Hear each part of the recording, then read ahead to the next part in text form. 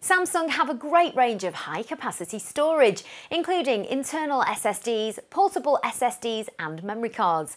Able to handle massive amounts of data, there really is something for everyone. And in this video, we're going to take a look at three options that are available right now. First up, the Samsung T5 Portable SSD. It transfers data up to 540 megabytes per second. That's up to 4.9 times faster than external HDDs.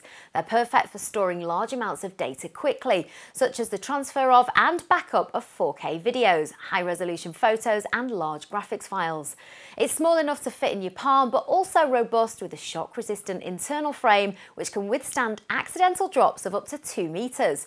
It's protected by a sturdy metal body and it comes in two distinctive aluminium finishes.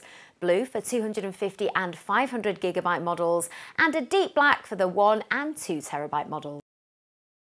Moving on to the Evo Plus memory cards, and these are compatible with a wide range of devices for both SD and microSD. And in this video specifically, we're looking at the largest 256 gigabyte version.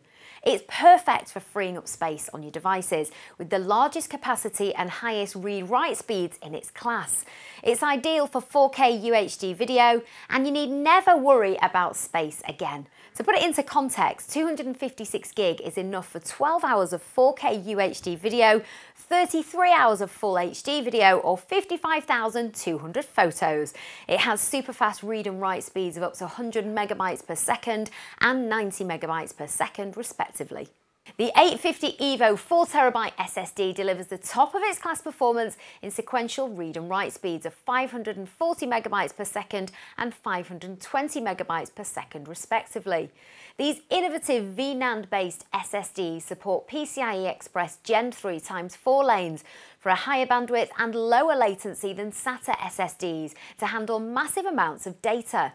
They're offered in a compact M.2 form factor and give a 10% better user experience than the already awesome 840 EVO. To find out more about these cards and others in the Samsung range, visit scan.co.uk.